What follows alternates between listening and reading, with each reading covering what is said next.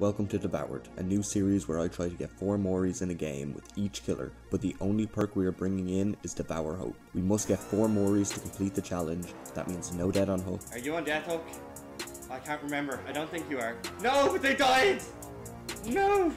No bleeding out, no hatch, no head pops, just Devoured Hope Moris. Where's the totem? Everybody, where's the totem?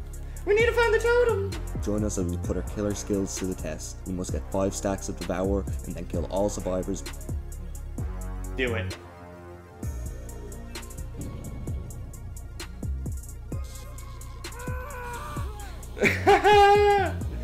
Before the gens are done, the gates are opened, or before they find and destroy my totem. no. Watch every great decision.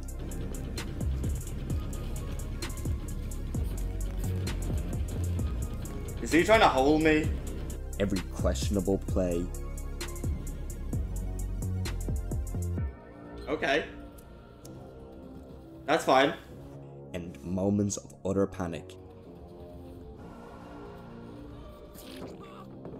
Ah, she dropped the pallet on him! as we get through each and every killer.